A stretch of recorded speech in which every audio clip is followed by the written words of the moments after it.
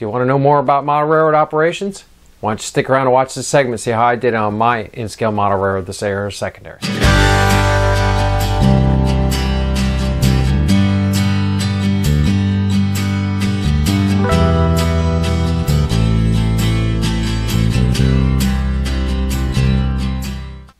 Hello everyone, Joe from Central Jersey Conrail and N Scale. Welcome back.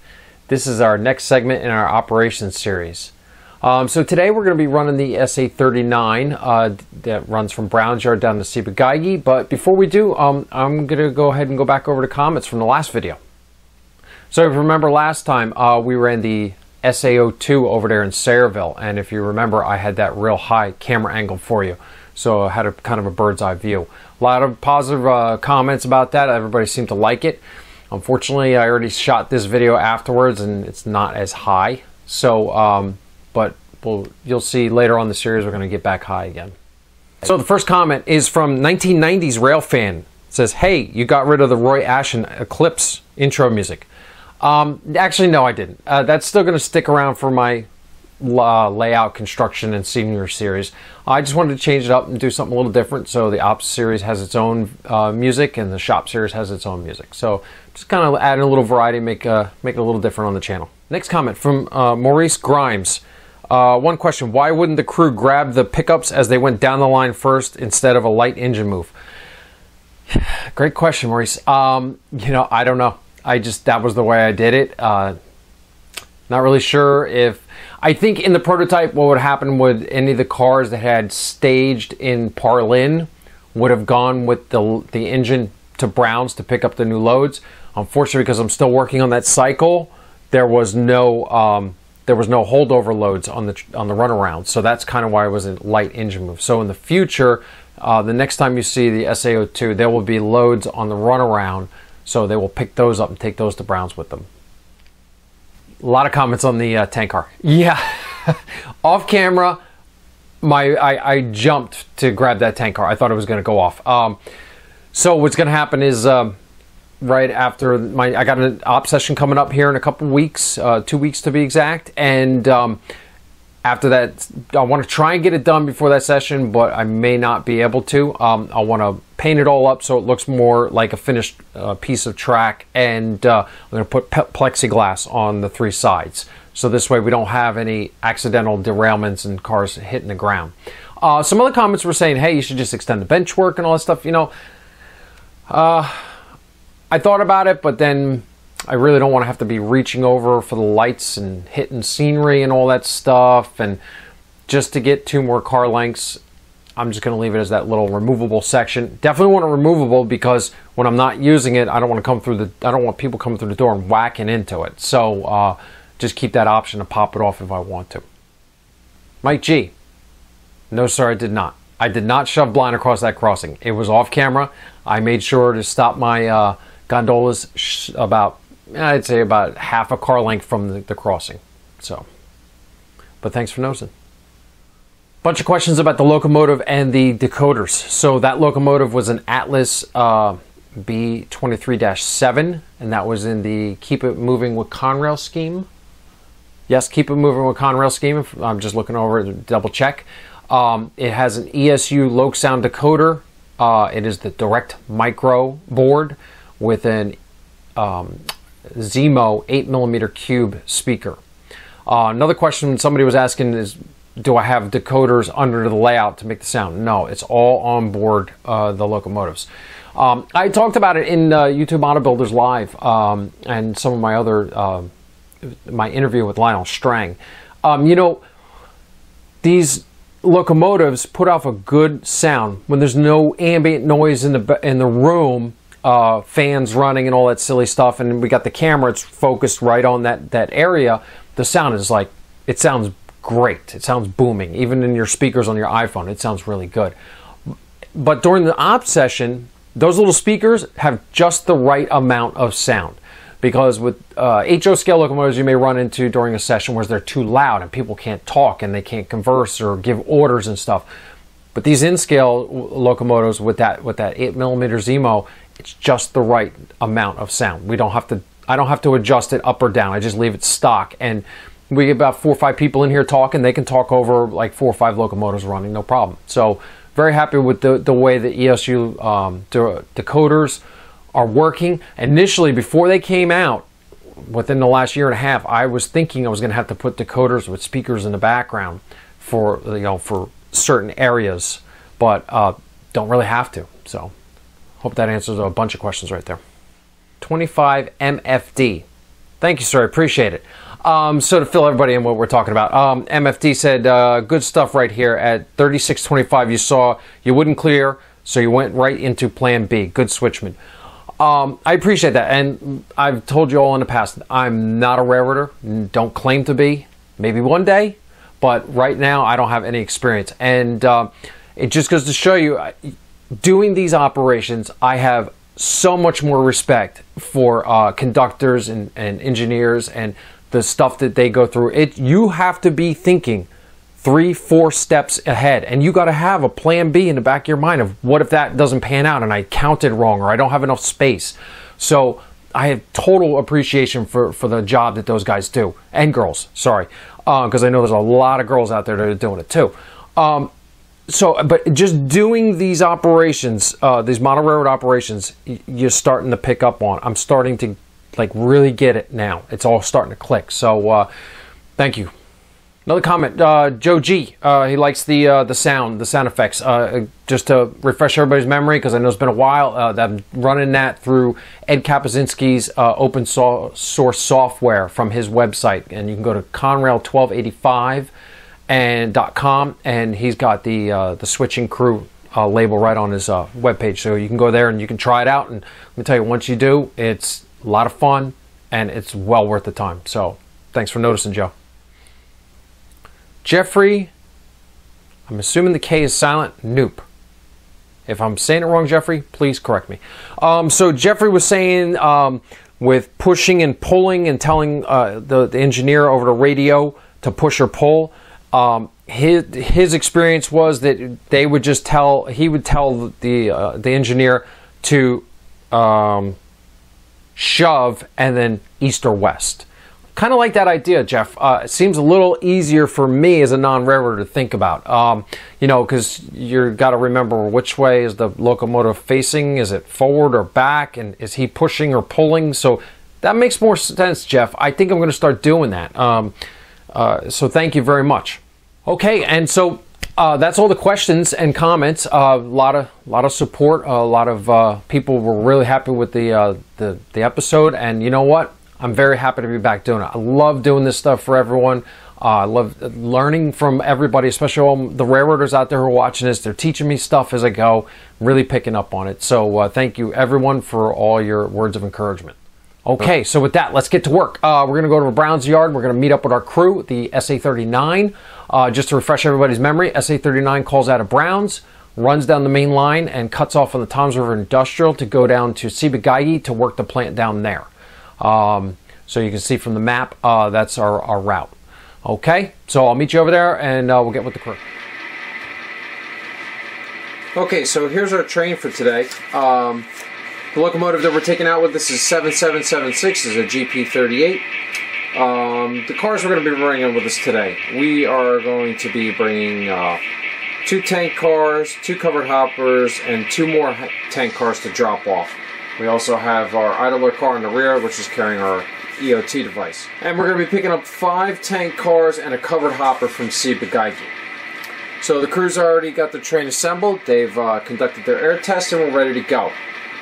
Uh, before we get going, um, we're going to get our Form D from our dispatcher. So, Form D is going to be dated June 30th, 1988. C101 to C&E number 7776, crew of the SA-39, Circle Line 2, operate in a south direction on single track between Browns and TRI. Dispatcher is JD. Time effective on Form D is going to be 627 in the AM. Okay, now that we got our paperwork all in order and we're all set to go, uh, crew's going to head it on out uh, on the main.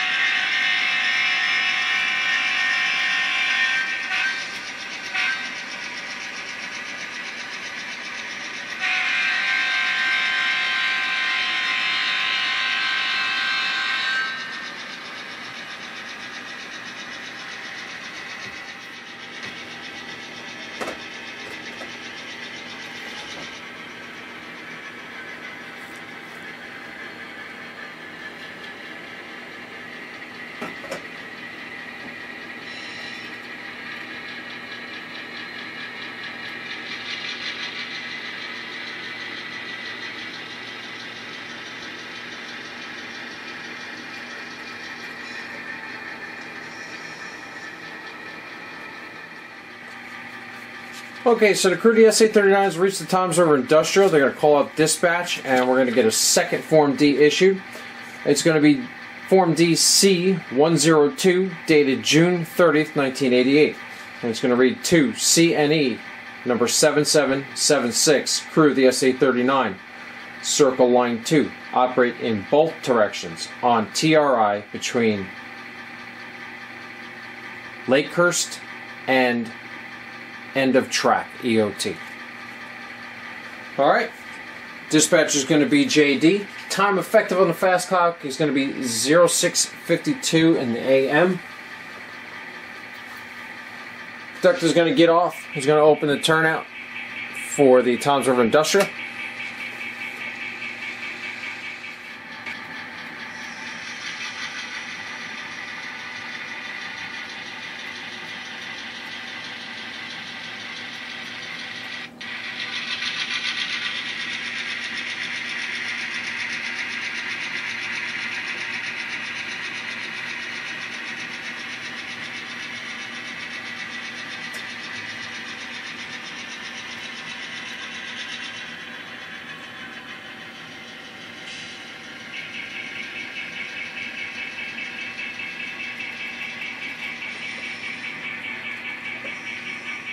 All right.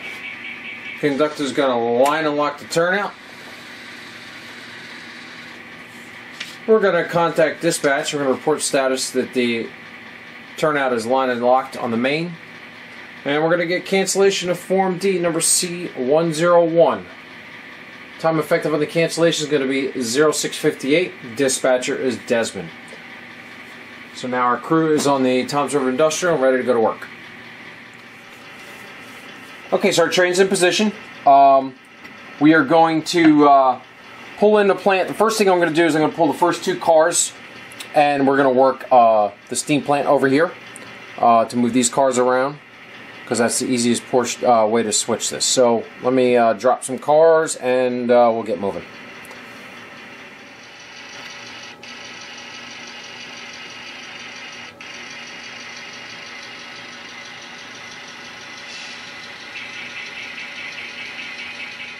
Alright, so we're going to set a handbrake. Uncouple, and we're going to run around these two cars.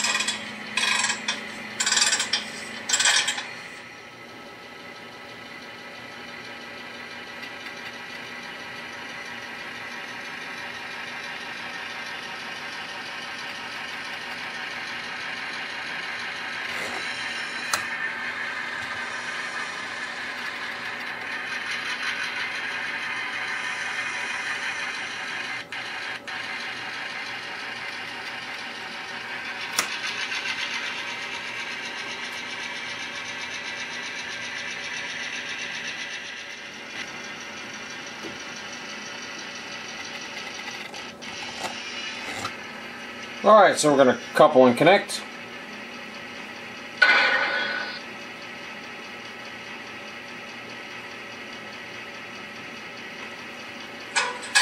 Release that handbrake. So I'm going to push these down so I can make room to make my maneuver.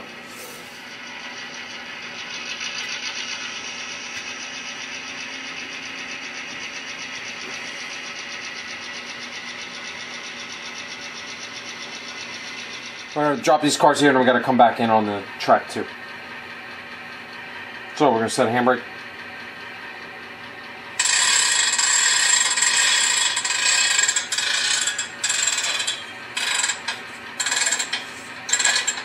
Uncouple. And we're to back up.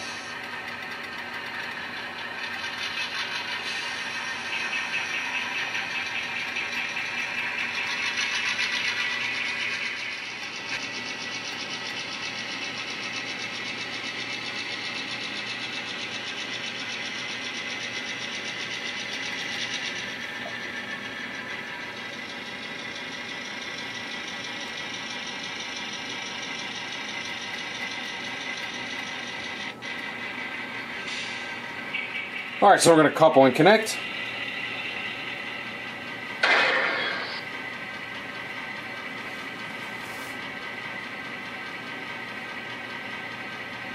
and release two handbrakes.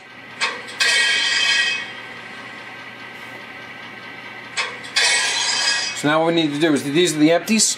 We're going to pull these out and swap them with the loads. And we'll leave all four on this track to make more room to do our switches. 7776, uh, pull back four car lengths.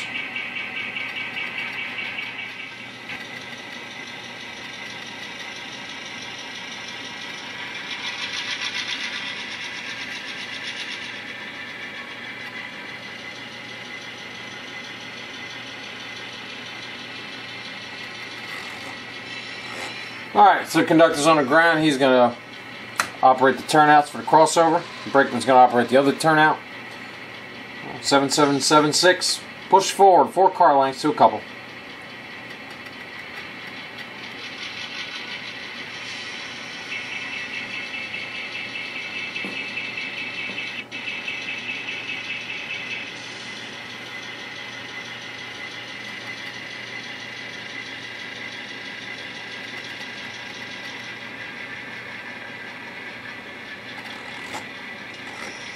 We're going to couple and connect.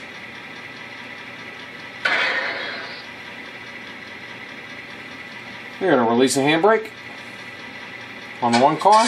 We'll pull this full string out and we'll dump it in here on this uh, spot. 7776, pull back, five car lengths.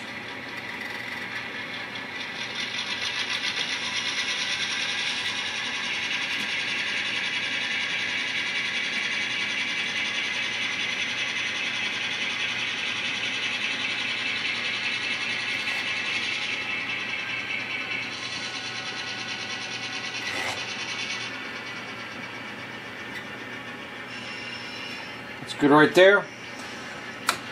Conductor's going to operate the turnout. 7776, push forward, five car lengths.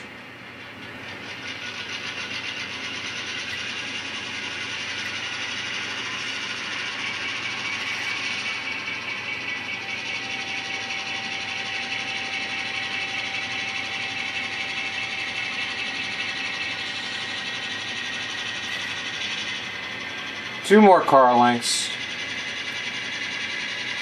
One more. One half. That's good right there, 7776. So now we're going to set handbrake. Actually, we'll set three, uh, two handbrakes on the last two cars. That'll hold the whole string, and it'll set the handbrakes for our uh, for when we're ready to leave. So we're going to set uh, two.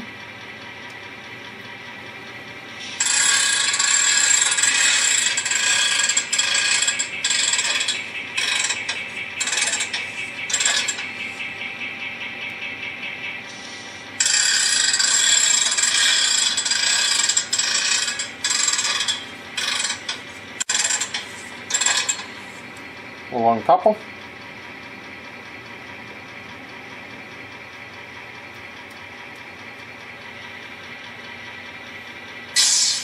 And we'll pull forward. I'm sorry, we'll back up.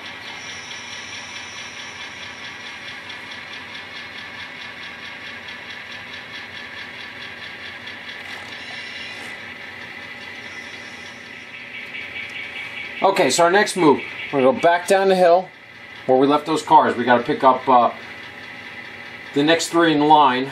Um, we have a tank car that goes over to here, and we have our two uh, hoppers for over there. So we're going to go ahead and pull them up, and we'll get working on that.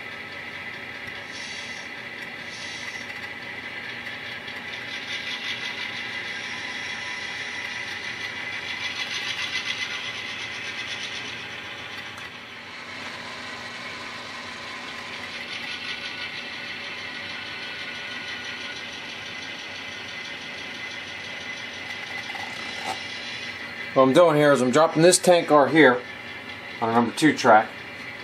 So I'll leave us plenty of room on number 1 to work building 105. So I got to set my handbrake.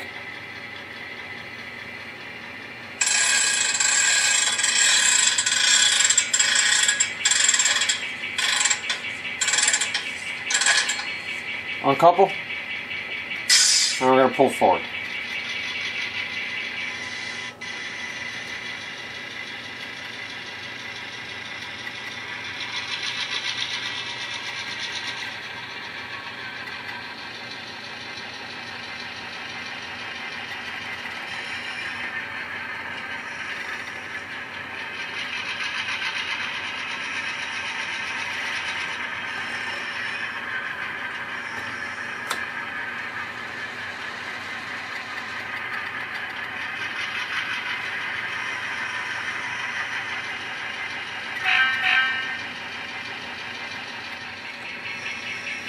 All right, so you know I changed my mind midstream. Uh, we're gonna go ahead and pick up these two empties, and uh, since we're right here,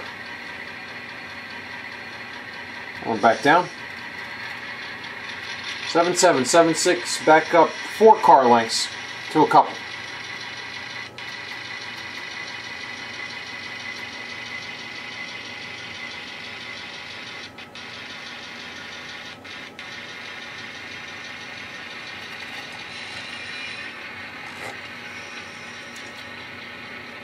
Couple up.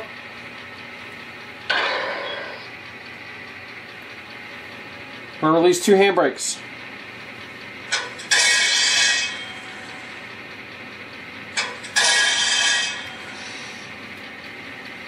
And we'll pull forward. 7776, pull forward uh, four car lengths.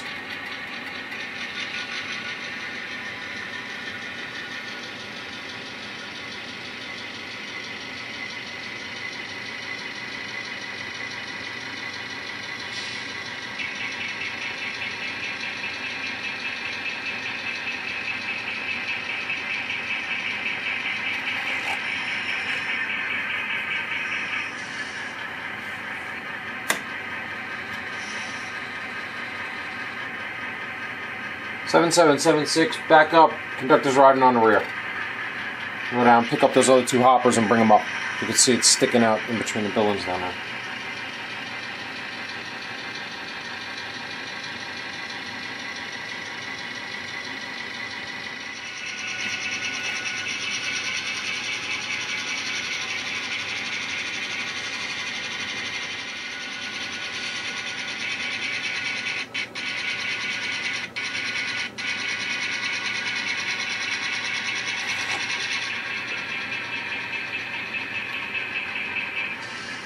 Car length.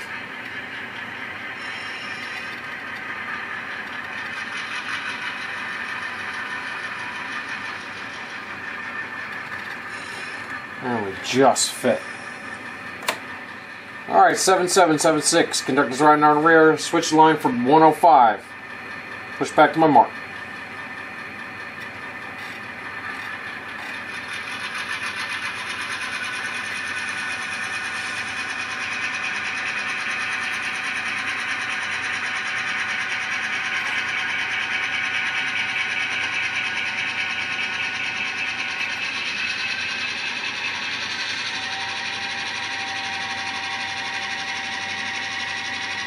One more car length. One half. It's good right there. Alright. So we got these cars in uh, here. We're going to set a handbrake on the last. We're going to set handbrakes on the last two cars. What all we got to do is pull our empties off the front end and we're ready to go.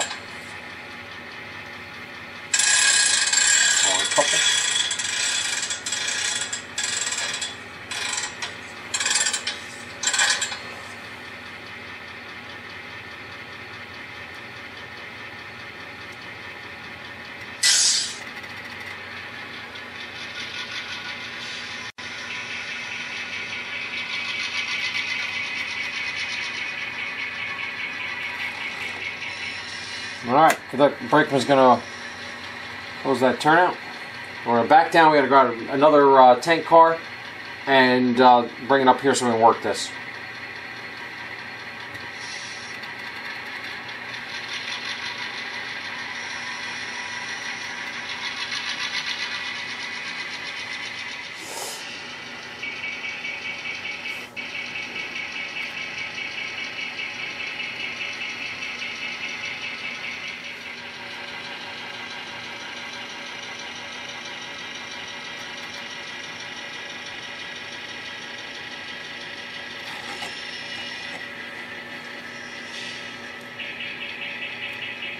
All right, so we're gonna couple and connect.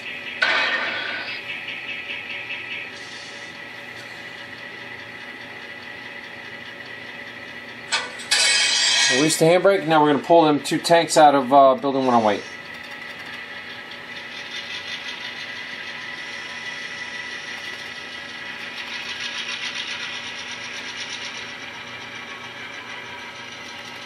Good right there, 7776.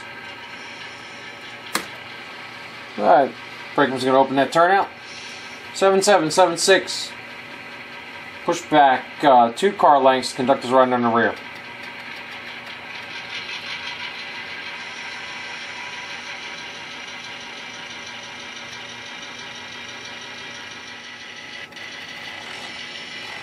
Alright. So we're going to couple and connect.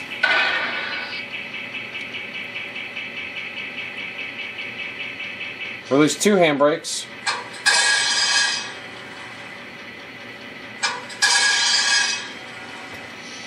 Pull forward.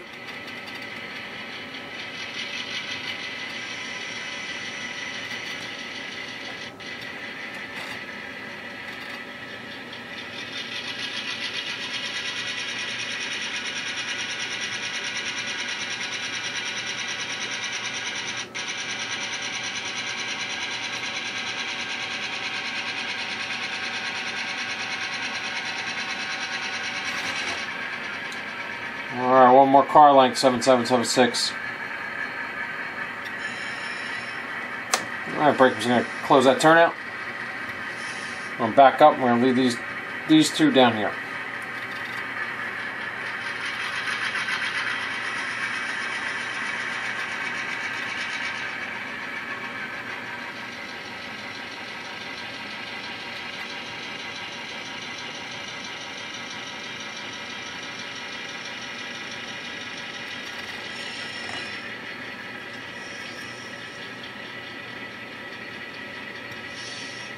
Alright, we're set handbrake.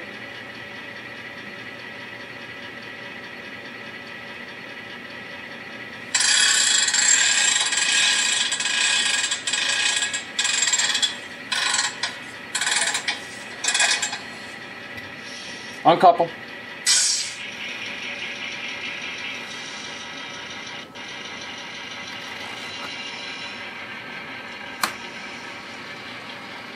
Brakeman's going to open that turnout, and I'm going to do a delayed uncouple here.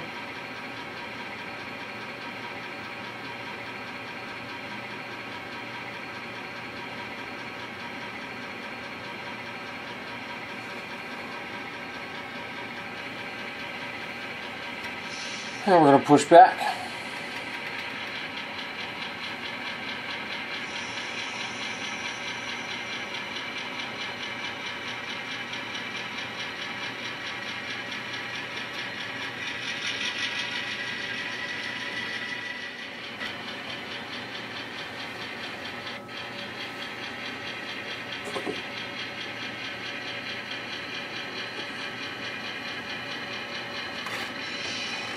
Alright.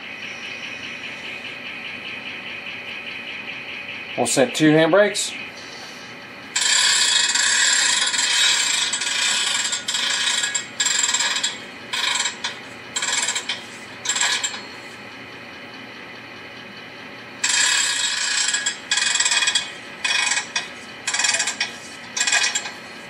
Alright, we're going to pull forward.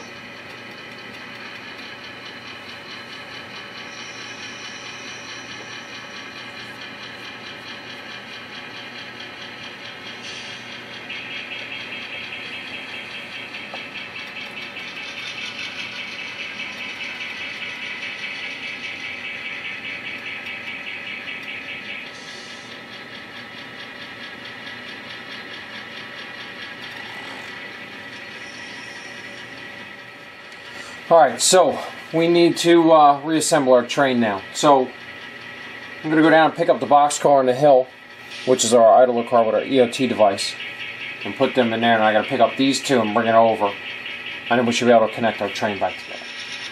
So we're going to line lock the turnout for uh, building 108. I'm going to back up and pick up these two tanks, and then continue backing up to pick up the box car.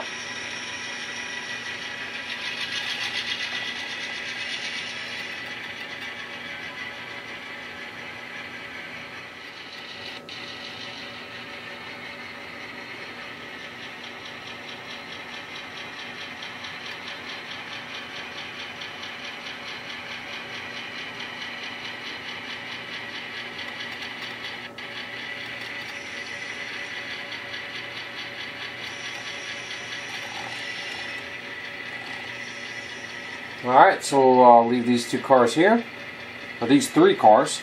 So I'm going to set a handbrake.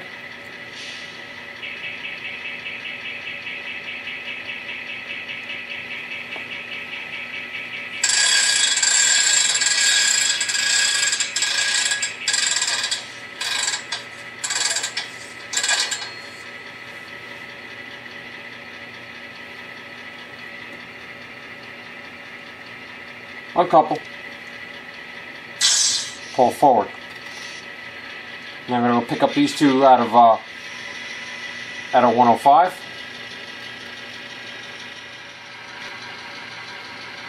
Two car length 7776.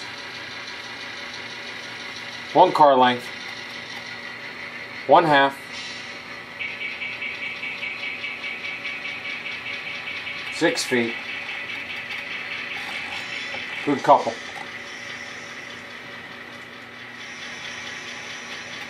Now to take these two cars and drop them in here so that they foul the crossover just enough so I can get back to the other end.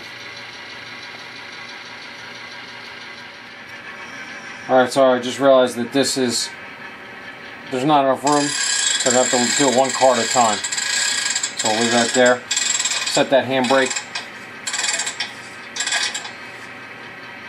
Uncouple, pull forward.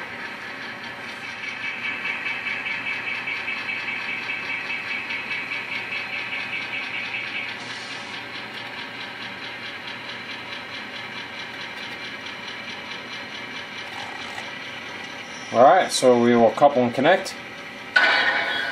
Release the handbrake. And we'll cheat this up as much as we can to the fouling point of the turnout in the crossover.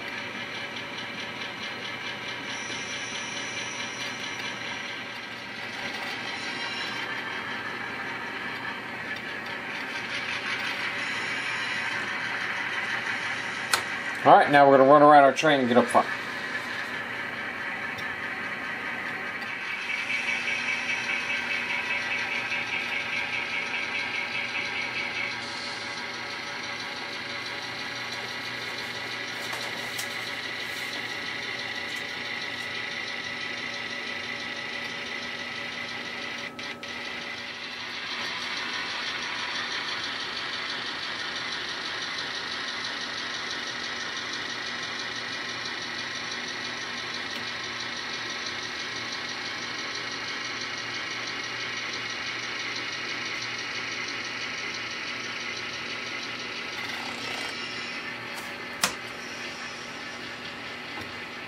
Alright, now we'll uh, push forward. 7776, push forward, two car lengths.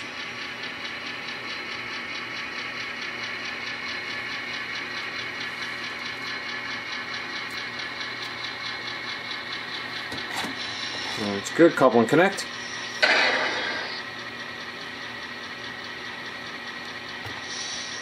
And we're going to back up. 7776 we're going to release a handbrake.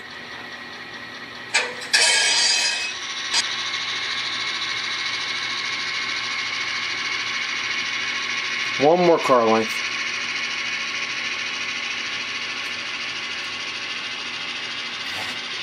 That's good right there.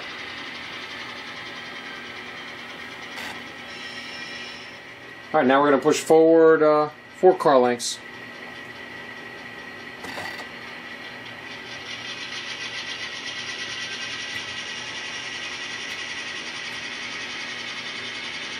Three car lengths, two car lengths, one car length,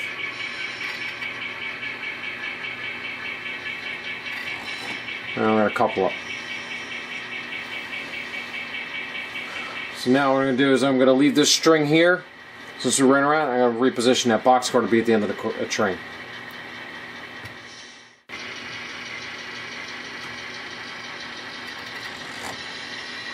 We'll set the handbrake.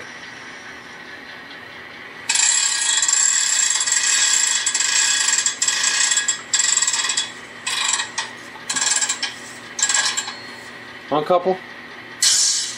And back up. Now we'll come pick up the string of cars here.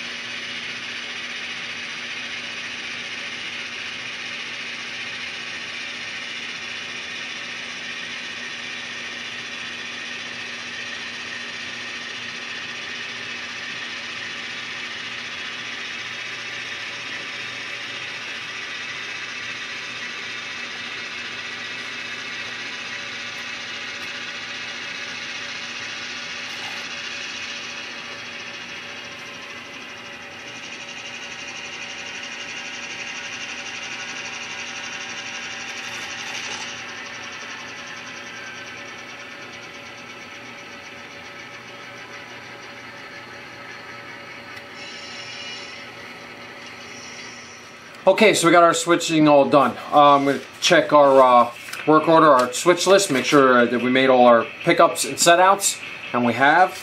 So that's all good to go. Now I'm going to take care of my car cards. And there was no uh, there was no holdover cars or any kind of switching inside the plant, so we're going to be picking up all six out of the bill box. All six here. And then we're going to be dropping these in the bill boxes. And so there you go. They're all set to go. Um, so now we're going to do our air brake test and uh, we'll head on back to Brown Show. Alright, so we're going to conduct our air brake test. We're going to be doing an initial air brake test because our consist has been significantly modified. So we're going to charge the train line.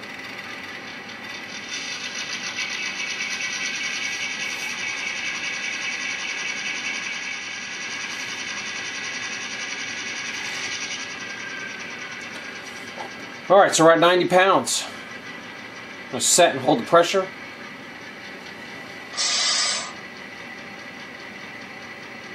Seven seven seven six. Give me a set.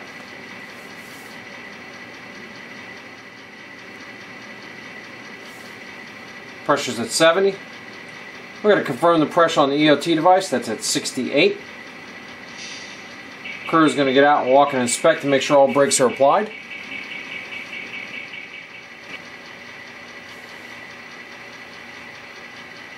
Alright. Now, 7776, give me a release. Brakes released, and we're going to inspect for all shoes released.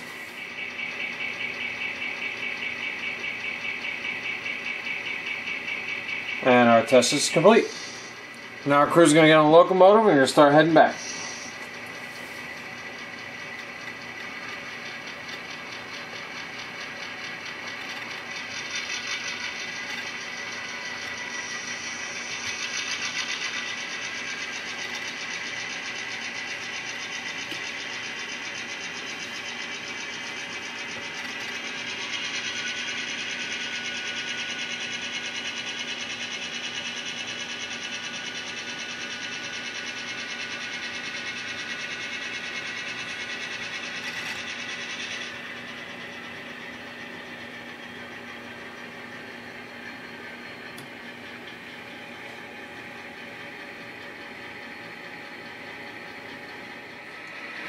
Okay, so the SA-39 has uh, reached uh, Lakehurst. Uh, they're going to call up uh, dispatch, and we're going to get a new Form D to go home. New Form D is going to be C-103 to C&E number 7776, crew the SA-39. Circle line 2. Operate in a north direction on single track between Lakehurst and Browns. Dispatcher is JD. Time effective on the fast car is going to be 1400 hours. Alright, with that, we're allowed to get onto the main.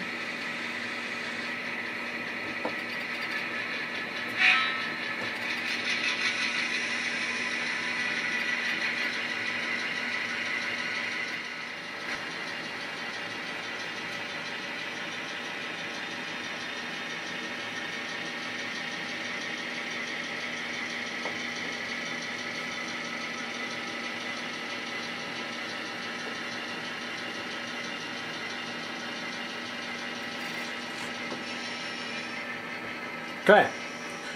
So, for a switchman, it's going to line and lock that turnout for the main. Conductor is going to call dispatch and inform him the condition of the turnout. And we're going to get a cancellation on Form DC 102. And that's going to be 1410 hours in the, uh, in the afternoon. Dispatcher is Desmond. So we're all set to head back home.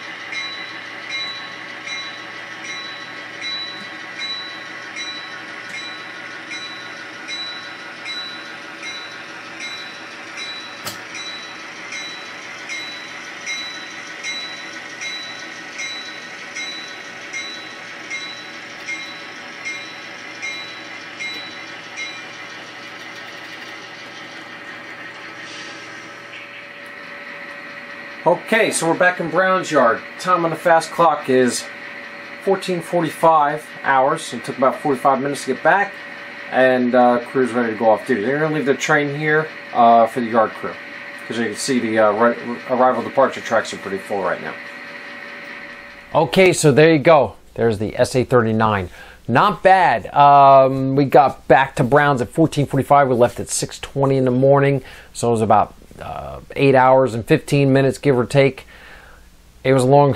It was long filming. Uh, yeah, that was a full four hours for me. Uh, I had a lot going on, uh, running here and answering phones and silly stuff. But you know, uh, but that's you know that's how operations go. Uh, you, take it as as you can and pace yourself and even if it was a four hour op session, it would it would have made it. Um, you know, the actual work went really well. Um, I tried this time. I think is the first time I've done it on camera, and after one of my operators, Cody, did it, I was like.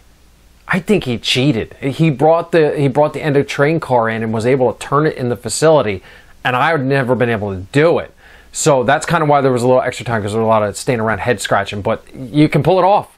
I, I thought I thought Cody was was cheating, but uh, so I, I, proved it. It works. Um, even though that little runaround is only about four car lengths, uh, you can still get it done.